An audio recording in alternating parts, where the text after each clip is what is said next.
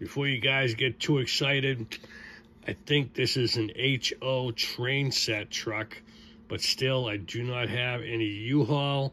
The wheels do move, but it doesn't say anything. It doesn't say China, it doesn't say anything, but it's awesome. And for all you guys looking for this thing, oof, man, this is nice. It's not technically to scale, but it is nice looking. And I'm glad to have it in my collection, that's for sure. Very nice. Very, very sharp.